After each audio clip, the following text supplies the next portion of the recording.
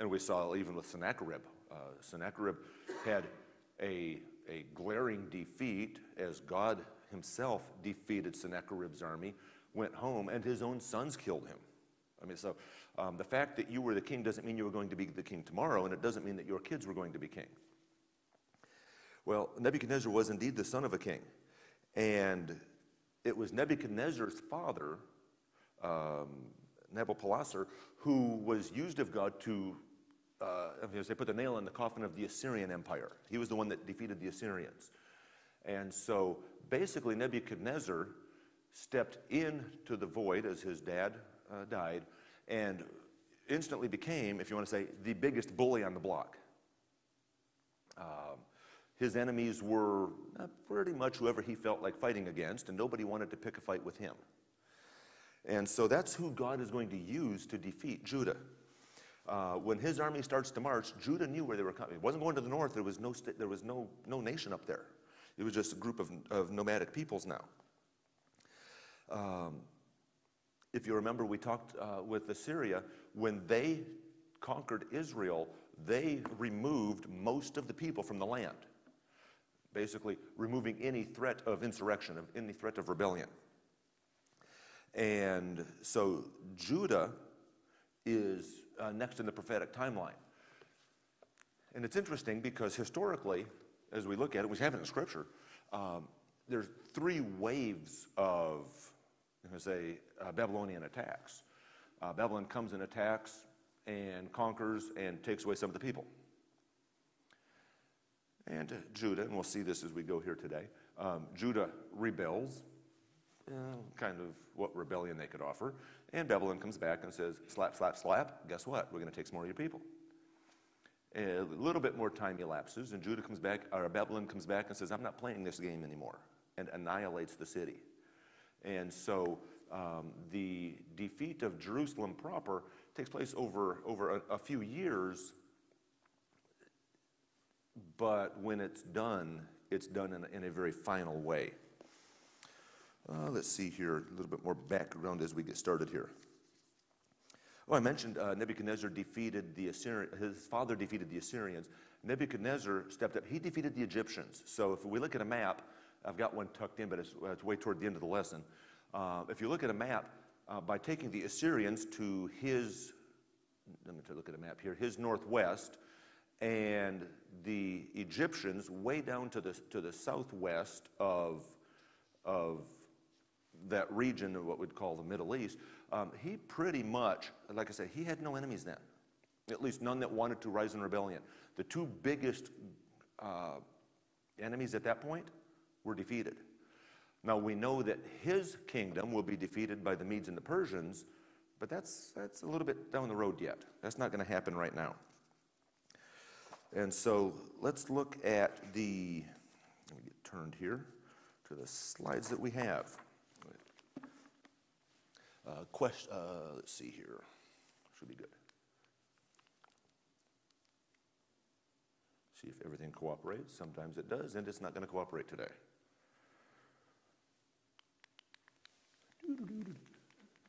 Beautiful. Well, I know what the slides say. Our question that we have as we get started here is how did the Babylonians treat the Israelites? Um, and it's interesting. Remember the Assyrians uh, with with, with the, when we say Israelites, uh, we ran into this last week when we were looking at, uh, I think it was a passage in Jeremiah. Um, with the Assyrians, they were mean and cruel and practiced their, their, practiced their cruelty to the nth degree. Um, the Babylonians, they were mean and cruel, but they took the best that you had to offer and took it back to use, and that included with the people. Remember the story of Daniel. We'll see Daniel, I don't know if he's next week or a couple of weeks away. Um, Daniel goes back, and where does he land? He lands in the court of the king. And so um, the Babylonians treated their conquered, their conquered foes a little bit differently. So we'll see that as we go. Our verse as we get started today, um, a little bit different. Uh, it is a different verse as we go halfway through the, the unit now. It's Isaiah 30, 18. And therefore will the Lord wait that he may be gracious unto you. Oh, there's an interesting concept when we're talking about God's judgment. Um, and so Um, he will be gracious to you, and therefore will he be exalted. God's graciousness is exercised toward us, but the whole purpose is that he may be lifted up. Um, let's see if we get when we get to the New Testament the book of Acts. Um, God does not share his glory with man. God may raise up man, he may promote man, but God's glory is to be directed toward he and he alone. Uh, we see, in the, again, in the book of Acts, um, the king stands up and he's, and he's, he's given a great speech, and the people say, It's the voice of a God and not of a man. And he says, Yes, let me pat myself on the back, and God killed him. Um, God exercises his graciousness. We receive that, but he needs to be glorified in that. Uh, that he may have mercy upon you. For the Lord is a God of judgment. Wait a minute, time out. Grace, mercy, and judgment. Um, Sesame Street comes to mind. One of these things just doesn't belong here. I don't see judgment fitting together with grace and mercy. And yet, when we're talking about God, all those qualities have to fit together. How can God be holy and demand holiness of us and yet love us and offer forgiveness? Again, it makes my, my, makes my human, frail mind hurt to try to comprehend this. But that's who God is. And He's a God of judgment. Blessed are all they that wait for Him. And so God is gracious, He's merciful, and yet He's a God of judgment. So Second Chronicles, finally we get there. Uh, Second Chronicles, we're not going to read all 21 verses. I mean, I've used a third of our time already, and we're just into the first, uh, first slide of the actual lesson. But look what we have here, just as we get started. Then the people of the land took Jehoahaz, the son of Josiah, and made him king in his father's stead in Jerusalem. And Jehoahaz, Jehoahaz was 20 and 3 years old when he began to reign, and he reigned three months. uh, a very long reign. Three months. Um, three months can seem like forever, and yet three months is nowhere near forever. And the king of Egypt put him down. Wait a minute, time out. Egypt? Remember what we've seen. Nebuchadnezzar is rising in power. He's taking control. He's expanding the kingdom. Egypt won't be an issue for much longer after this, but they're still strong at this point. And the king of Egypt put him down at Jerusalem and condemned the land in a hundred talents of silver and a talent of gold. And the king of Egypt made Eliakim, his brother, king over Judah and Jerusalem, and turned his name to Jehoiakim. We've mentioned this before. We've got to make sure we have our minds engaged, we're paying attention, because all the names, and here you have a name change. Well, why did the king of Egypt change his name? Because it fit with the message that the king of Egypt wanted to give. Um, and Necho, that's Pharaoh Necho, took Jehoahaz his brother and carried him to Egypt. Jehoiakim was 20 and 5 years old when he began to reign, and he reigned 11 years. So we've had kings that have reigned years and years. We had a king that reigned for three months. Now we've got his brother reigning for 11 years. And he did that which was evil in the sight of the Lord his God. And against him came up Nebuchadnezzar. Look who's on the scene now. And bound him in fetters and carried him to Babylon. So now they have two kings in exile. So who's in charge of Judah? And it tells us in verse 9, but we'll get there in just a second. Look at verse 7. Nebuchadnezzar also carried away the vessels of the house of the Lord to Babylon and put them in his temple at Babylon. So the vessels of the house of God, the temple in Jerusalem, were carried away. The temple itself is still standing, but the temple vessels made of precious metals were hauled away. Why were they hauled away? Because they were made of precious metals. And so um, Nebuchadnezzar comes. This is, if you want to say, wave number one. Um, Jehoiakim was eight years old when he began to reign and reigned three months and ten days. Moving through kings somewhat rapidly now. Um, remember, his great grandfather, Josiah, no, no, grandfather, we had two brothers there, I guess. Um, Josiah was eight when he began, and he reigned for, for a good long time. This guy's eight and does not reign for nearly so long. And notice what's interesting here. Eight years old when he began to reign, and he reigned three months, ten days, and did that which was evil. Now stop and think. Are the little munchkins responsible for their behavior and actions? Interesting question. Here's your answer. Do we need to go any further? Um, and when the year was expired, King Nebuchadnezzar sent and brought him to Babylon. Uh, they now have more kings in exile than they have kings in Jerusalem. And Zedekiah, one and twenty years old when he began to reign, and he reigned 11 years. Verse 12, and he did that which was evil. Now, there is still a prophet in the land. Maybe, maybe a few prophets in the land. Remember when Elijah, after Mount Carmel, ran and hid and said, I'm the only one? And God said, Oh, no, you're not. We know that Jeremiah is around at this time, putting the timeline together. When does Jeremiah end up being taken and removed down out of the way? Uh, it's got a place in there somewhere. But we know that there's a, a prophet in the land.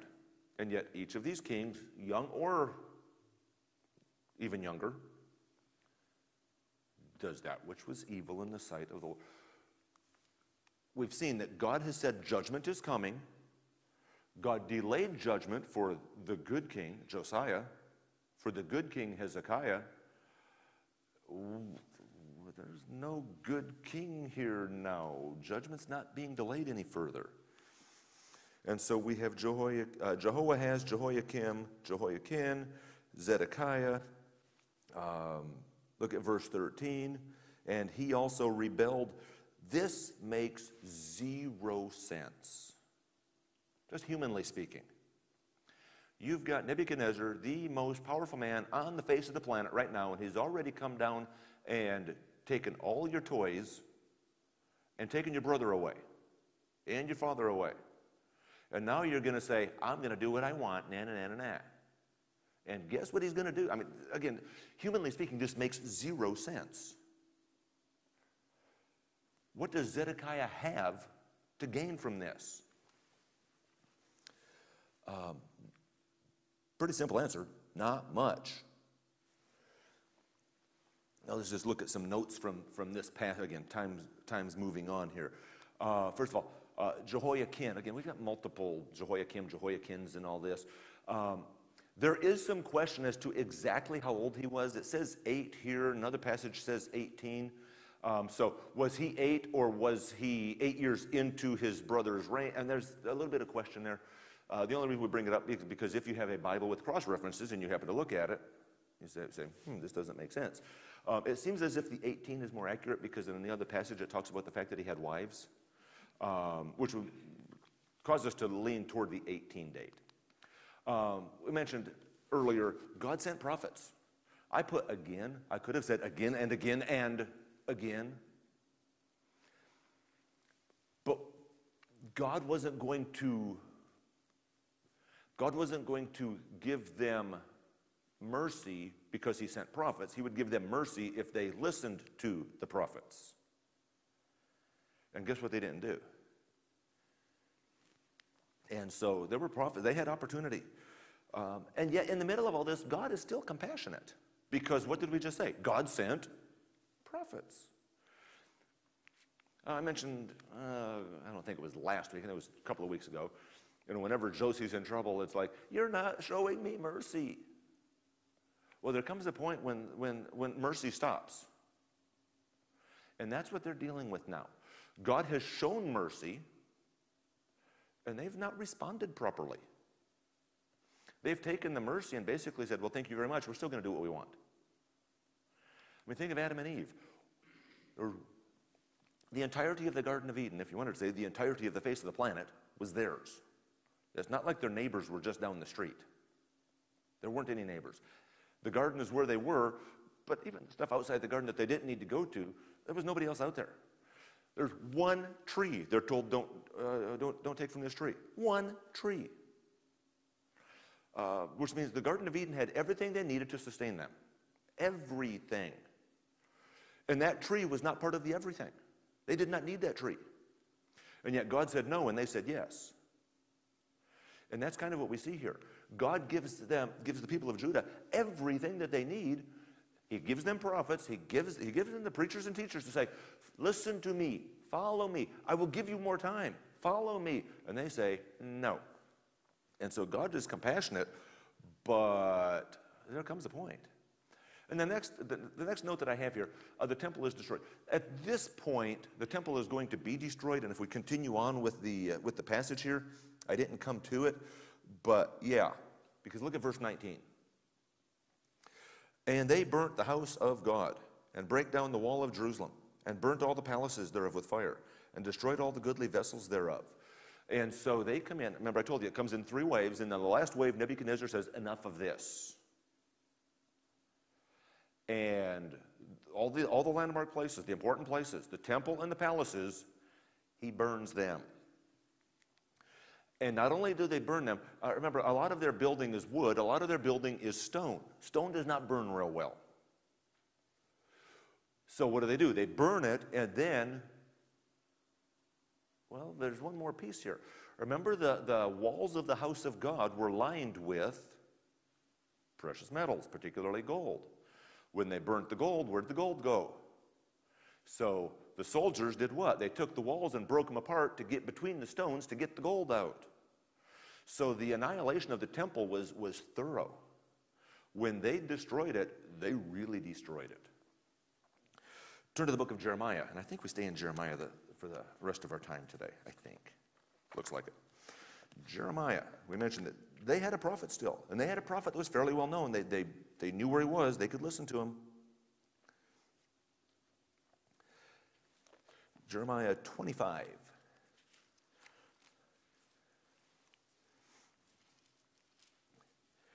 Now, I've mentioned numerous times, my Bible has headers tucked in between all the, the verses and stuff like that.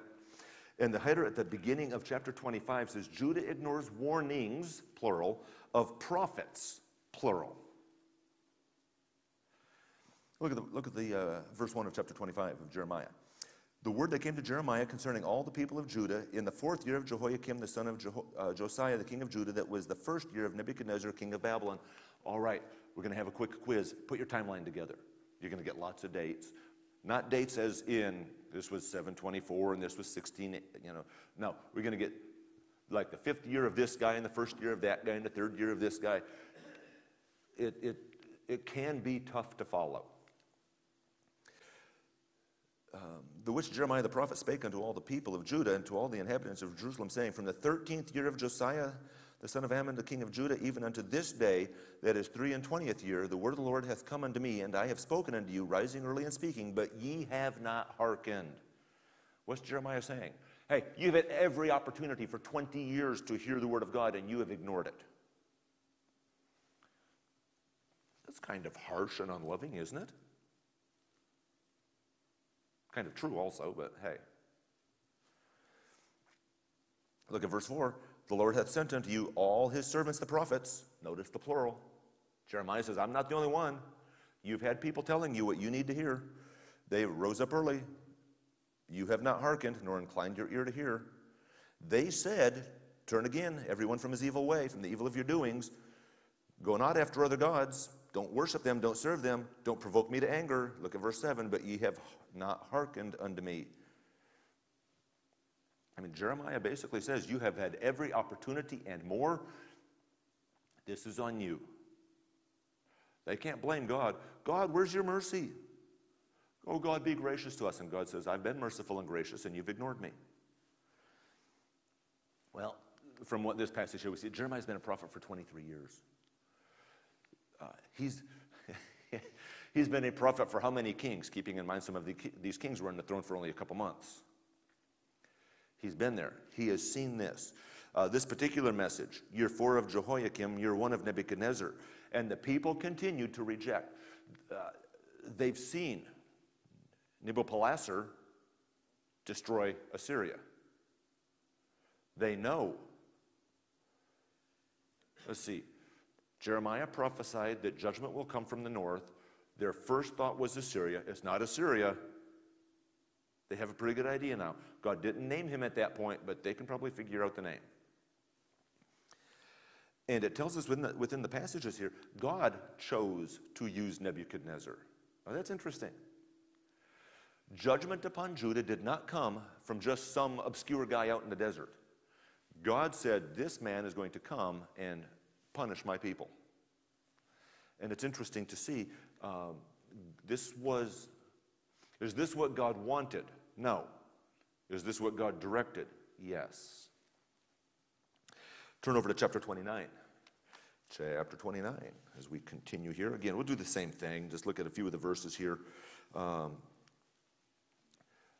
we didn't really see it. Again, I'm trying to make sure that we don't get halfway through and then run out of time here.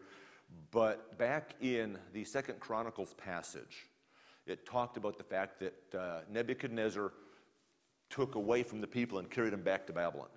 We'll say so. He took people into exile, and that's what we see here in chapter 29. Uh, Jeremiah uh, now, these are the words of the letter that Jeremiah the prophet sent from Jerusalem unto the residue of the elders which were carried away captives, and to the priests and the prophets, and to all the people whom Nebuchadnezzar had carried away captive from Jerusalem to Babylon. So, Jeremiah, a prophet in Jerusalem, is writing to the people at Babylon so that they can hear the word of God. Um, I won't. I want to make smart Alec comments about they didn't use the U.S. Postal Service or it wouldn't have gotten there yet, but we won't worry about that. Um, after that, Jeconiah the king and the queen and the eunuchs and the princes of Judah and Jerusalem and the carpenters and the smiths were departed from Jerusalem. Look what happens. Nebuchadnezzar takes the important people and the skilled craftsmen. Remember what we said just a little bit ago. He takes those people who can benefit his kingdom. He takes the important people that might lead an insurrection or rebellion, to whom there is some nationalistic pride, and he takes those skilled people, the skilled craftsmen, who can benefit his kingdom. And he sends this, this letter. Uh, look at verse 4. Thus saith the Lord of hosts, the God of Israel, unto all that are carried away captive, whom I have caused, whom I have caused, notice that, they went, not because Nebuchadnezzar was big and strong, but because God said so, whom I have caused to be carried away from Jerusalem to Babylon. And notice what he tells them build ye houses. Translated, you're not coming back tomorrow. Build ye houses and dwell in them, and plant gardens and eat the fruit of them. Take ye wives and beget sons and daughters. Take wives for your sons and daughters for your husbands, that they may bear sons and daughters, that ye may be increased there and not diminished. Interesting. God says, you might as well settle down and make it home. And the message of the 70 year captivity will come to them. Uh, so he writes them a letter, the people that are in captivity. He is concerned for the people of God, whether the people of God are in Jerusalem, in the outlying areas, or even in Babylon. Um, and it mentions in here, uh, verse 2, um, after that, Jeconiah the king. Um, Jeconiah is Jehoiakim that we saw back in uh, Second Chronicles. Uh, in another passage, he's mentioned, uh, named as Coniah. Remember, we said we have to engage brain because sometimes people's names are very similar and sometimes their names are the same, and sometimes the same person has multiple names. And we can see that um, sometimes you're called by your nickname, and sometimes you're called by the shortened version of your name, and sometimes you're called by your complete full name, and that's kind of what we have here. Uh, we so see this in the passage. God was the cause of the captivity. God, and, and the wording of the, I chose the wording because that's the way it says here. I caused you to go, but God wasn't the cause. Their sin was the cause. But because of their sin, God, God caused them to go into captivity. And his intention was for repopulation. But in order for that repopulation to take place, there needs to be a population in Babylon. You can't send people back from Babylon to Jerusalem if there's no people left in Babylon. So, what does Jeremiah tell them in his letter? Go ahead and make yourselves a home.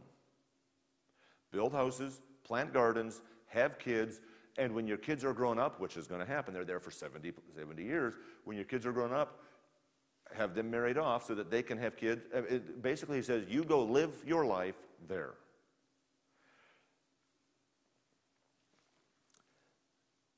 And yet, remember, we talked about three waves. There's going to be additional deportation because, uh, from this point here because the people still didn't repent.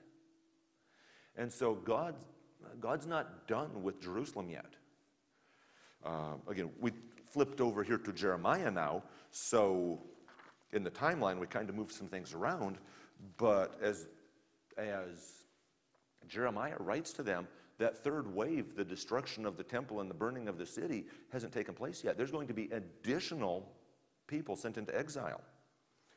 And that moves us to the map. Now, I don't expect you to be able to read everything on the map, but um, on the map, you've got um, Israel is in the north, keeping in mind the two, the two kingdoms together, Israel and Judah, are still incredibly small.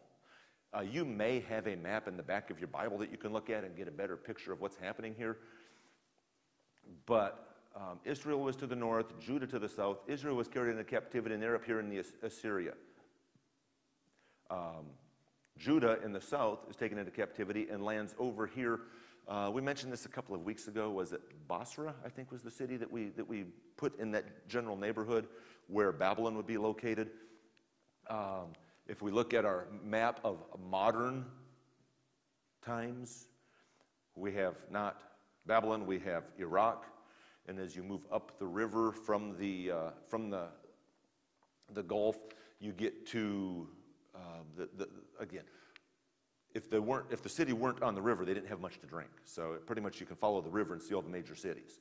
And so um, they get up to uh, Babylon, and that's the capital, Babylon being placed right here under, it says Babylonia. This is the kingdom, and here is the, the city of Babylon upriver.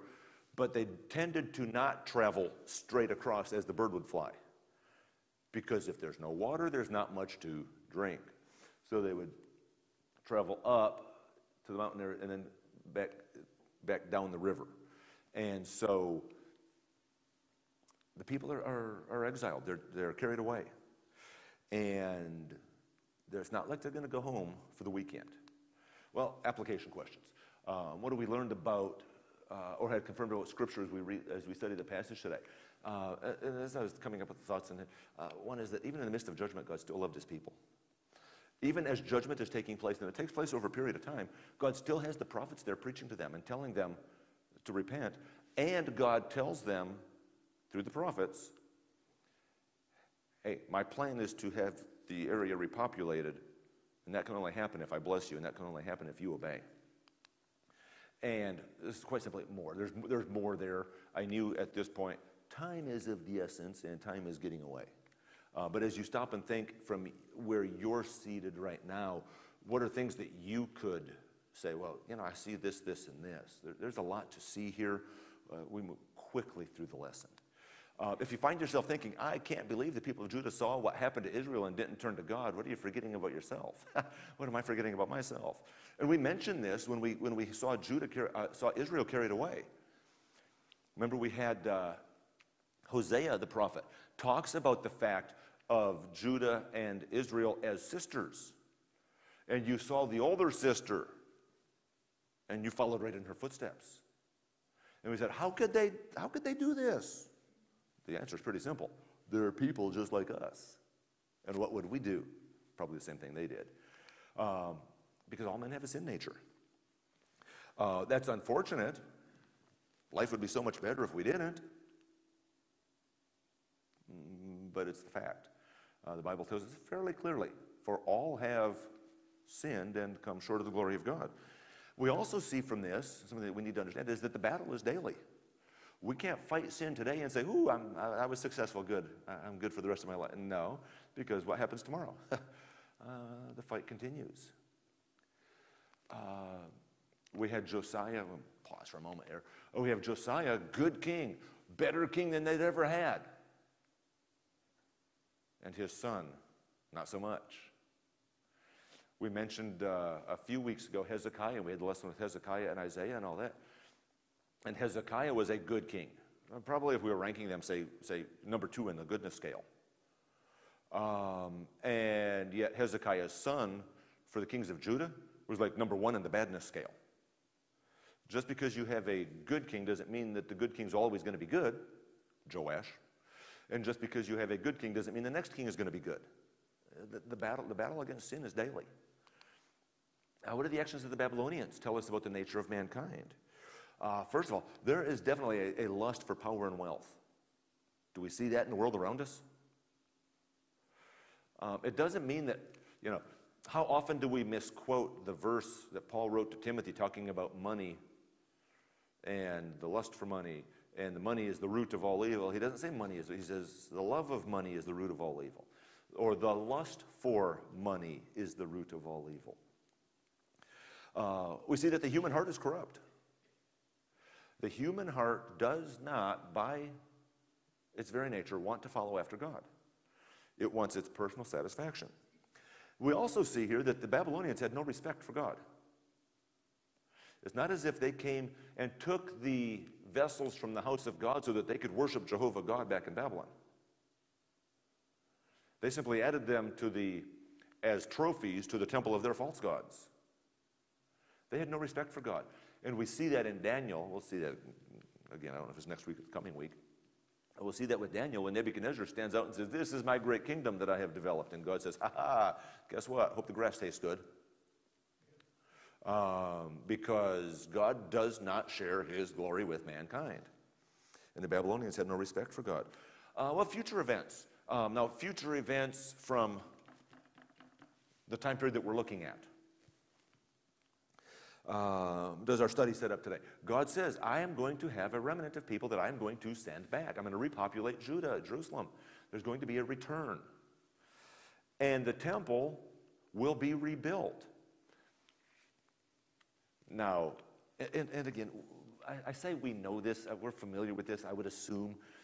But each time they rebuild the temple, it gets a little bit less grand.